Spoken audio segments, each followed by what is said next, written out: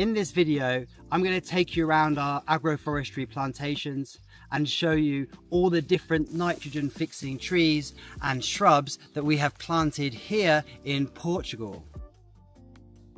This one is called silverberry. It's really good for wildlife habitat. It's a good windbreak here in our food forest. And also we can eat the berries by making jam with it. There are various ways for us to be able to identify nitrogen fixing trees and one is by the leaves. They tend to have these leaves that look rather like this one. So when you pull a leaf off, you can see that there are leaves on alternate sides. And you can take any one of these off and then there are smaller leaves alternate sides again. And these can be very similar on all the nitrogen fixing trees. They just be different sizes and colors. This one is honey locust. I grew this by seed about five years ago. And it's a really good fodder for the animals. We can even eat the pods as well. And the flowers and there's just a few coming up now are really good for attracting bees and beneficial insects this one is a thorn variety, so it has these very sharp thorns, making it quite dangerous. So I keep it away from the main paths, although I also have a thornless variety. This one is growing in quite a wet area and it's doing much better than the other ones I have on the farm. Most of the nitrogen fixing trees are from the legume family, which is like the bean family. So you can recognize them two ways. One by the flower, and another way is once they go to seed. And you can see this river tamarind has these seed pods which are flapping around in the wind, and these look like bean pods. So all the nitrogen fixing trees have bean pods, but some are long and big and some are small, and we can identify them that way. Another way to identify uh, which are the bean trees or which are the nitrogen fixing trees is from the flowers the flowers have a similar shape on all of the bean plants and bean trees. So this Brazilian glory pea tree is a great nitrogen fixer. It's quite a small tree and it sort of weeps down like a weeping willow. And in the summer, it's completely full of these beautiful red flowers.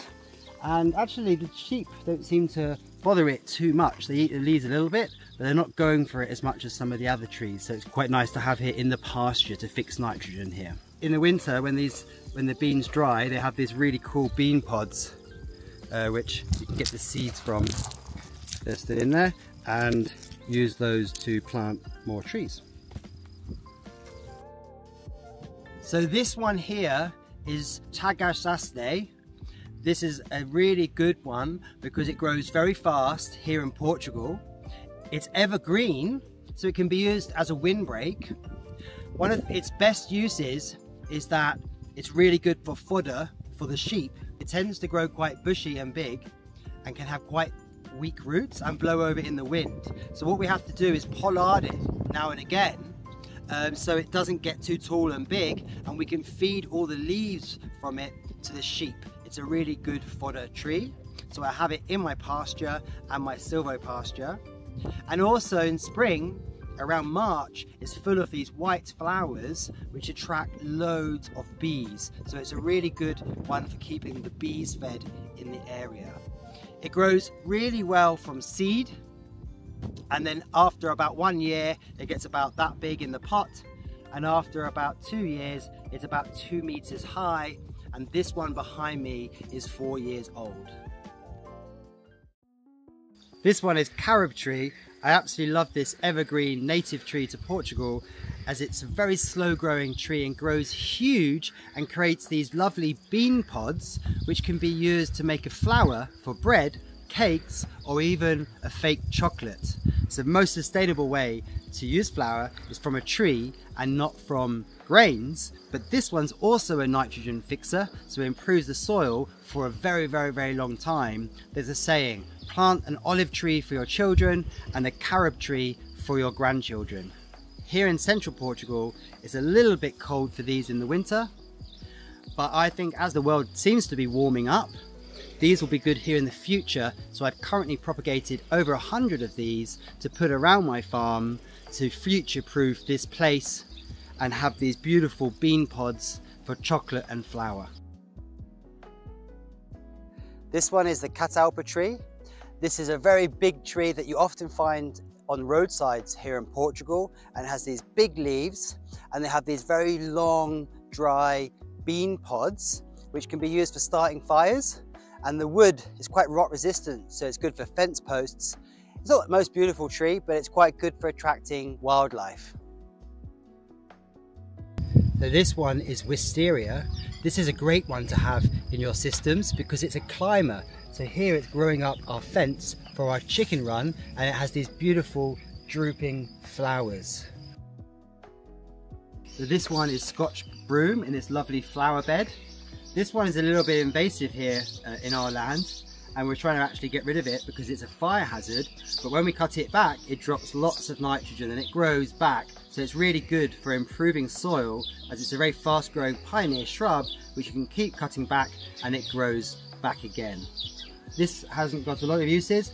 We use it for starting fires, it's very flammable and also you can use it to make a thatched roof This deciduous nitrogen fixer is called Alder. I planted this when it was this big about six years ago and it grows pretty fast and this is a great one because it grows in really wet areas and it can stabilize the soils on riverbanks. It's a good summer windbreak but in the winter it drops its leaves. It can be used for making furniture, musical instruments um, or even firewood. This one is called Himalayan indigo and it's more like a shrub and it has the same type of leaf pattern, small leaves, the same type of bean flower. However, what's cool about this one is this indigo coloured flower is used as a dye. So this one here is flowering senna. This is a nice big butch, a low nitrogen fixer. It has the most beautiful yellow flowers for the whole summer. And it's quite good for attracting bees and pollinators and also can be used for medicine. But it's getting hidden here because there's this climbing plant, which is vetch. It's a weed which is also a nitrogen fixer and you can actually see its little bean pods here showing that it's a nitrogen fixer. We'll have another video on nitrogen fixing weeds and cover crops. This one is called Bladder Senna. It's just like flowering senna, but with smaller leaves and smaller flowers. Not as pretty as the flowering senna, but a better nitrogen fixer. And the seeds become these pods that are squishy and quite strong and hard and actually just like a bladder from a sheep or something like that that's not too full. And when these dry, they don't really break, they're quite strong, so you could shake them around and use them as a musical instrument. So behind me here, we've got mimosa. This is an invasive nitrogen fixer from the acacia family. It's something we're actually trying to get rid of from this land, so we can keep cutting it back and making wood chips and using that whilst it's green to spread the nitrogen in the garden. But it still is beneficial for us as a nitrogen fixer, but one day we want to eliminate this tree from our farm. Thank you very much for watching this video. I hope you enjoyed it. If you have any questions or comments, please do leave them below.